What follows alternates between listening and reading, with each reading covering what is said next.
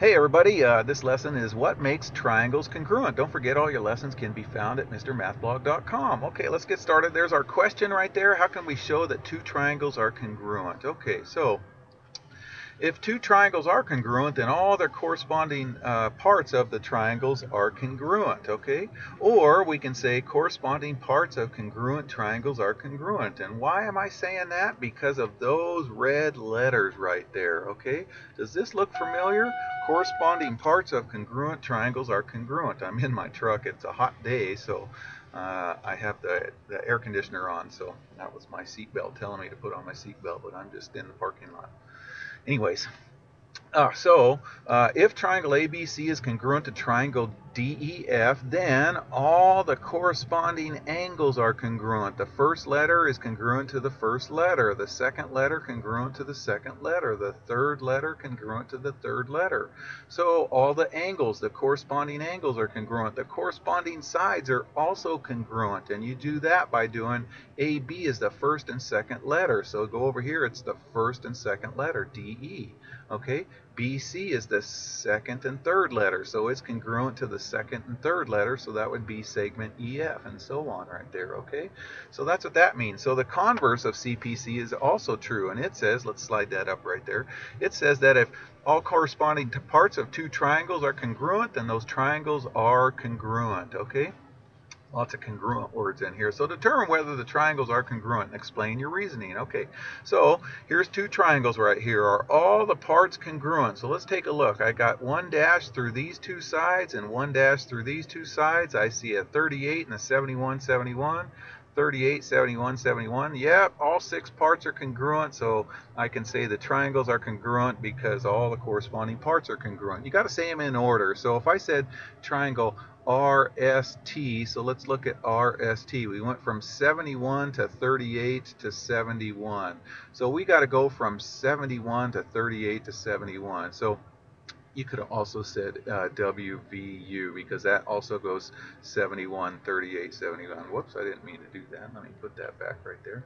Okay, so just make sure you do it in the correct order right there. How about these triangles right here? Are these triangles congruent? Well, I see a congruent side right here. I see some 60s in there, 60 and 60, but whoops, this one's 41, this one's 42, and that's 78, and that's 79. So I'm going to say no because the angles aren't congruent, okay?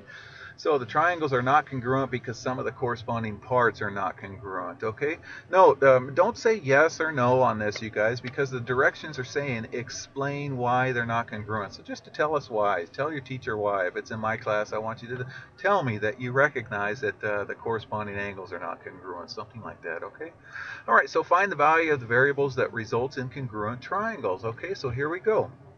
All right, so they tell us that they're congruent right here. Okay, so I see uh, the, all three sides with markings. So all these three sides with markings right here. So so this angle, whatever this angle is right here, because I see a 55 and a 45. I see a 55 and a 45 right here.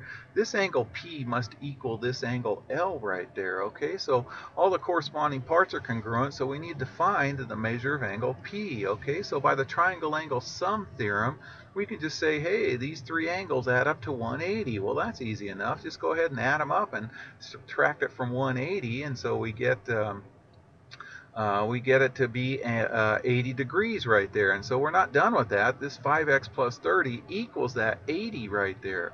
So it says uh, find the value of the variable. We need to find x. So let's go ahead and solve for x. So subtract 30, divide by 5, and we get 10. Okay, nice and easy, right?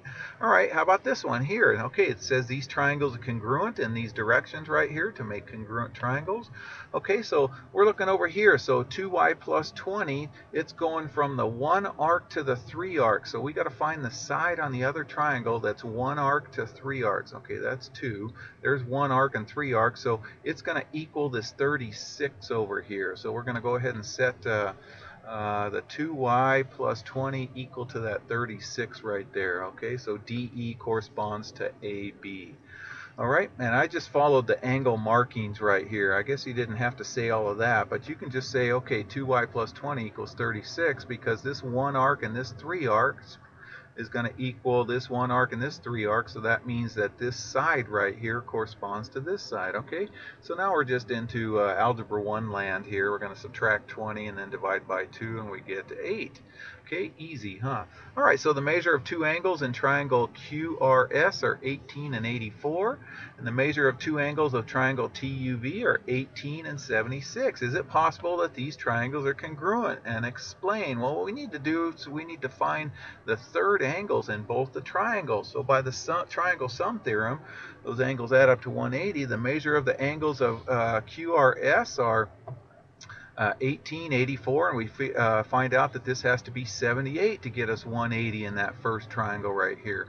Similarly, to add up these three angles, we find out that third angle is 86. And so since uh, the 86 and the, and the 84 are not uh, corresponding, the two pairs of corresponding angles are not congruent. Those triangles are not congruent.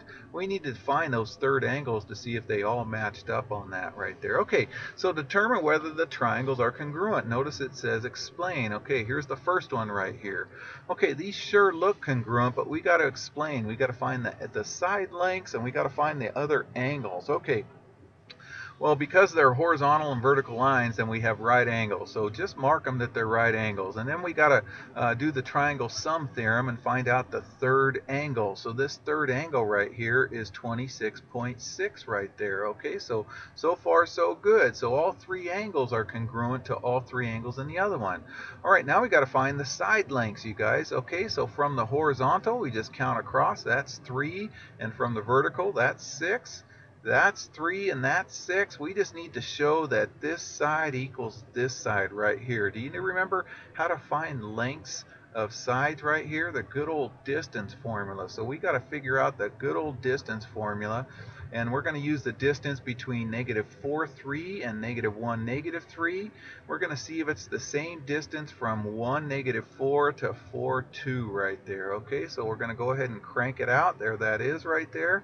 And if we do a little bit of um, um, number crunching right there, we find out that they're both the square root of 45. So those are equal to each other. So all six parts are congruent. So we have the triangles are congruent because all six parts are congruent congruent. So by the CPCTC part, uh, those triangles are congruent. All right, let's try it with this one here. Determine whether these triangles are congruent. Well, let's see what the angle sides are, you guys. Good old distance formula. Okay, so I'm going to just kind of go fast, save time. There's our distance formula. And we get the square roots of 20 and 40, okay? Square roots of 20, square root of 40, square root of 20, 20, 20. And hey, this is a vertical line, so we can just count the spaces. That's 4 right there. Are all three sides in this triangle congruent to all three sides in this triangle? No, they're not. That 40 and that square root of 40 don't match up. So those triangles are not congruent, okay? This would be showing your work and explaining right there. Don't just look at it and say yes or no. That's just, that's the easy way out, you guys, all right? You want to impress your teachers anyways. So anyways, if you're in my class, that'd be your homework assignment. Take care.